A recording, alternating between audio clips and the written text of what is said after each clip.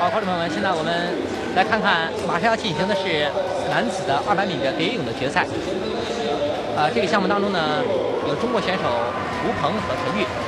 那么和他们同场比赛，第一泳道是中国台的运动员陈素基，第二泳道是马来西亚的贝格丹尼尔。中国选手吴鹏在第三道，第四泳道是日本的名将森田龙一，第五泳道呢是另外一个日本选手松田丈志。两位都参加过上届的，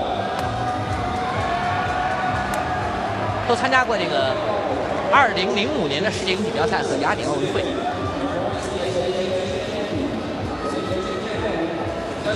这两个日本选手技术也不错。这是陈云，河北选手。这位选手陈云呢，他是一九八六年的五月出生。第七泳道呢是霍什，来自菲律宾，他呢二十岁。第八泳道是韩国选手郑斗熙，二十二岁。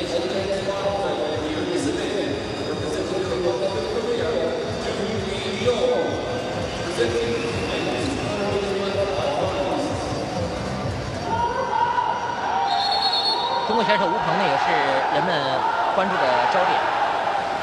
他呢，在莆田亚运会上是200米仰泳、200米蝶泳和400米个人混合泳的三项冠军。那么，在全国游泳冠军赛里边，也是200米蝶泳的冠军。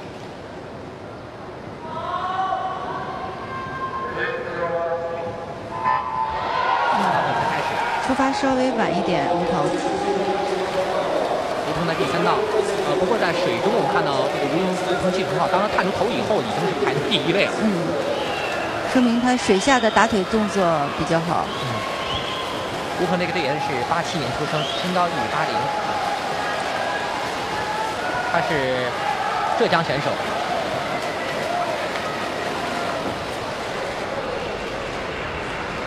这次看吴鹏好像他稍微有点胖了。呃，好像这个发胖已经有半年时间了，啊。呃，但吴鹏表示说这个胖啊不影响他这个成绩。对，嗯，他这种体型，而且肌肉类型会非常好，比较那个在水面上比较浮。好，来看看我们看到日本选手和中国选手吴鹏拼得很凶。现在呢，第四泳道是森田龙一处在第一位，率先转身。吴鹏和另外一名日本选手是。同时和松田丈志两人几乎同时是第二个转身。第五泳道的呃第六泳道中国选手陈云是现在是处在第四位。第四。吴鹏开始加速度了。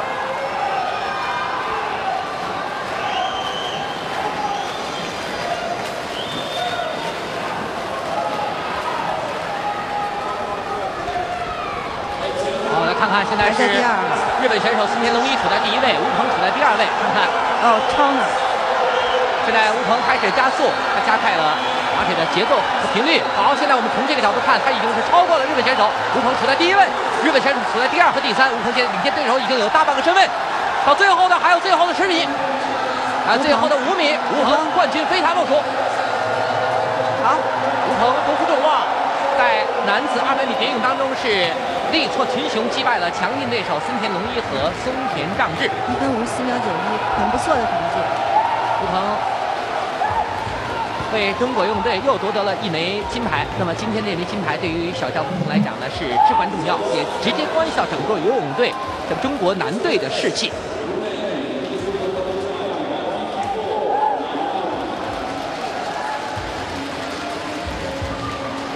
刚才钱红介绍了这个吴鹏在今天出发的时候呢，呃，稍稍的慢了一点儿。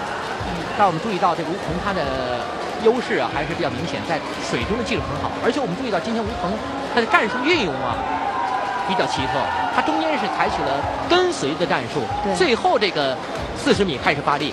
您觉得他这个这个战术安排是不是和他今天的取胜之间是不是起了很重要的作用呢？对，其实我刚开始最担心吴鹏，就是因为有两名日本。